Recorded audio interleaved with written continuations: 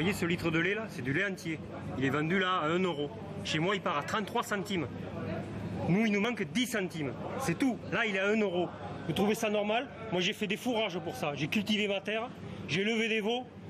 Après, je tire le lait, je fais tout le boulot pour 100 heures par semaine. Vous trouvez ça normal Il nous manque 10 centimes au jour d'aujourd'hui. C'est clair, net et précis. Le consommateur n'a pas à payer. Les distributeurs, ils prennent moins de marge, c'est tout. C'est pas normal que les distributeurs prennent 50 centimes sur une brique.